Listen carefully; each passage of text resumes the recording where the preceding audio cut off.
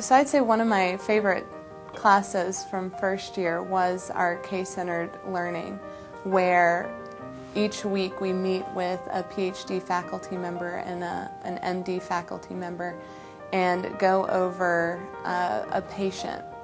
And we learn how to create a differential diagnosis. So all of the, the diseases that could cause the problem this patient is presented with. We learn which labs and imaging studies to order in order to figure out what disease they have and then how to treat it. Each person brings something different to the table and you know some person would look at one study differently than another.